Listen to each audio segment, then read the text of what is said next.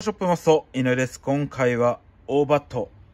えトレーニングオーダー竹バット、え当店限定の、え新商品ですね、えグラスファイバー加工あり、えご紹介していきたいと思います。え今年よりですね、こちらのオーバット入れさせていただきました。え選手の、え要望にそのまま、え答えてくれる。そしてですね、え1本からの、えフルオーダー可能のメーカーとなっております。えそして、えグラスファイバー入れることによって、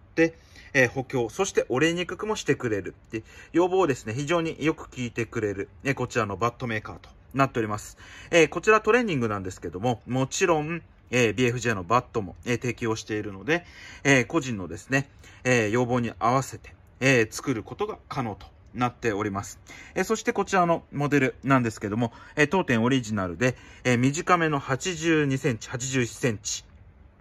え、削っていただきました。ね。で、大体ですね、82センチの方、81センチですね、えー、の方がグラスファイバーありで、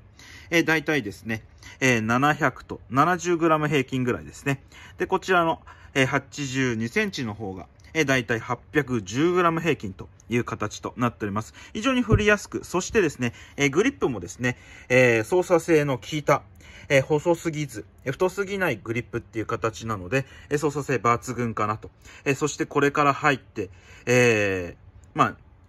入学ですね、えー、中学生、してくる方にはもってこいの商品かなと思います。えもちろんですね、高校生以上の方も、えー、早く振る練習などにはもってこいの、えー、バットかなと思いますので、幅広く、えー、使えるこちらの竹バットとなっております。えなのでですね、もちろん、え小学生にも、え触れる方は選んでいただければなと思います。何本あっても、え間違いないトレーニング竹バットとなっておりますので、えー、ぜひですね、こちらのバット、え、おすすめさせていただきたいと思っております。ではこちら以上です。ありがとうございました。